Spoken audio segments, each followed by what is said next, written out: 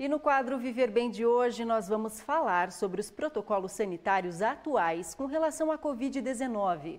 Ao longo dos últimos dois anos, desde que os primeiros casos da doença foram confirmados aqui no Brasil, algumas mudanças aconteceram. Entre elas, o tempo de isolamento de quem testa positivo para a Covid-19, assim como das pessoas que convivem com quem contraiu o vírus. Para entendermos melhor quais são os protocolos vigentes, eu converso agora com a enfermeira Tatiane Zerhut, ela que é chefe do setor de vigilância epidemiológica da Secretaria Municipal de Saúde de Pato Branco. Boa noite, Tatiane, obrigada pela presença. Boa noite, Carol, eu que agradeço. Tatiane, né, no começo da pandemia, quem testava positivo para a Covid-19 precisava ficar 14 dias em isolamento. Hoje, o que preconiza esse novo protocolo? Isso mesmo, Carol. Nós tínhamos no início da pandemia um isolamento de 14 dias. É, com o passar da pandemia foram feitas atualizações, então nós seguimos as orientações que são do Estado, é, seguimos a nota orientativa número 40, que inclusive foi atualizada agora no mês de fevereiro de 2022, e ela coloca algumas situações. Paciente que é assintomático, então eu não tenho sintoma nenhum e eu fiz o meu teste de PCR ou de antígeno e testei positivo, eu vou ficar sete dias em isolamento a contar da data do exame. Paciente que tem sintomas leves e testou positivo com antígeno ou PCR, eu preciso ficar 10 dias em isolamento a contar do início dos sintomas.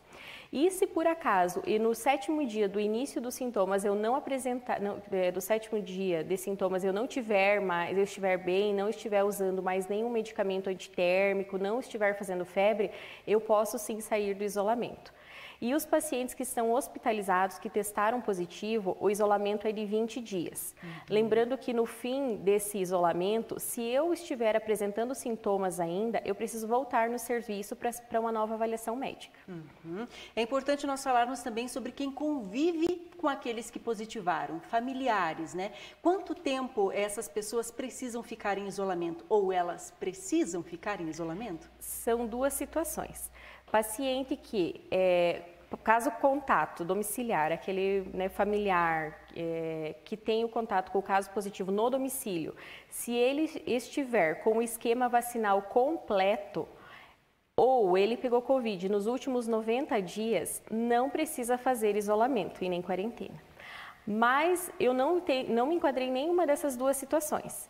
Então, eu posso ficar afastar, eu devo ficar em quarentena por sete dias.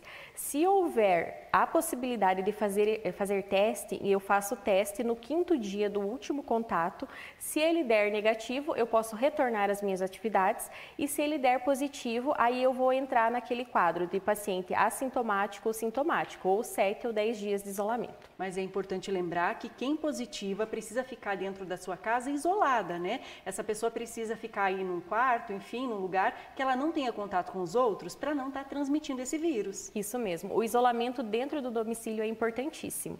É, se um, um é, morador está, um, um integrante da família está positivo, então é necessário que ele fique isolado no quarto, se precisar sair, que utilize máscara.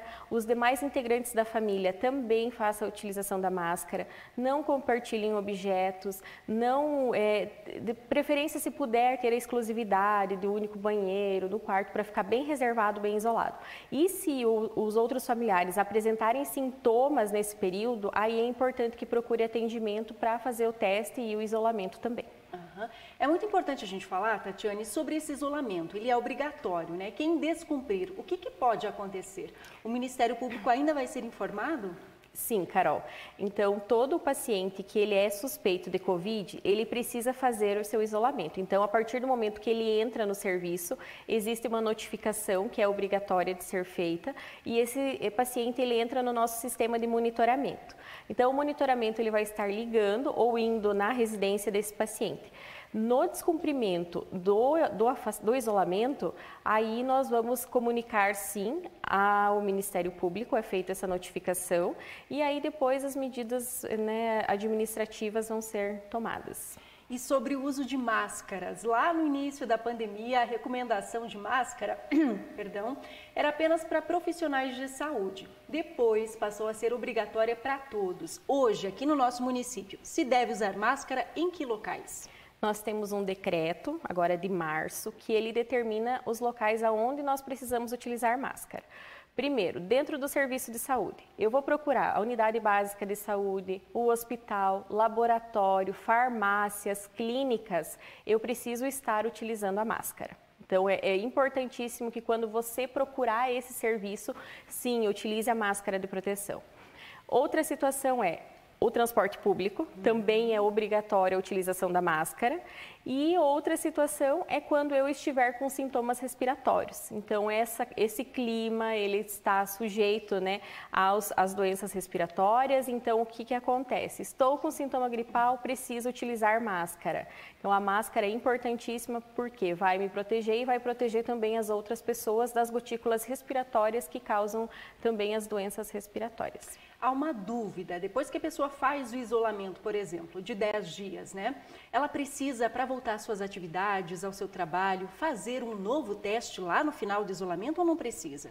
Não precisa, Carol. Então, quando você fez o seu período de isolamento, ou de 7 ou de 10 dias, você pode retornar às suas atividades normais ao fim do isolamento se estiver bem. Uhum. Então, estou há 24 horas, sem febre, sem usar antitérmico, estou me sentindo bem, eu posso retornar às minhas atividades normais. Porém, eu não preciso fazer um teste nem de antígeno, nem de PCR para retornar às minhas atividades. Por quê? Porque dentro do meu organismo pode ficar resíduos do vírus por até 90 dias. Então não adianta eu fazer um teste que ele possivelmente vai dar positivo. Então a orientação é nesse sentido é que as pessoas elas cumpram o isolamento, que é o, o, principal período de transmissão do vírus, e após o fim do isolamento, estando bem, retornem às suas atividades. Tá certo, então. Acho que é importante nós falarmos também, né, que uh, a vacina tem auxiliado muito nessa questão da Covid-19. A gente sabe da importância do esquema vacinal. As pessoas que contraem a doença e estão vacinadas, a probabilidade delas terem complicações é muito menor e isso ficou comprovado com a diminuição de internamentos, né, Tatiane? Isso. Do, se nós compararmos com o ano passado, nesse mesmo período, nós tínhamos três vezes mais pacientes hospitalizados foi quando começou a vacina. A partir desse, de, agora desse ano, a gente já sentiu uma redução muito, muito grande. Levando em consideração também que ano passado nós tínhamos uma variante Delta, que ela é muito mais agressiva, que ela tinha esse potencial de transmissão alto e de agravo alto. É, esse ano nós temos uma Omicron circulando aqui no município e esse, é, ela é mais transmissível, porém ela não gera tantos danos que necessitem de hospitalização.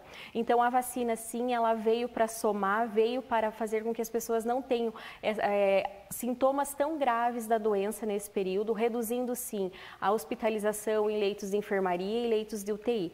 Então, isso já é comprovado que esse ano nós temos sim uma queda no, no número de pessoas que foram hospitalizadas. Tá certo.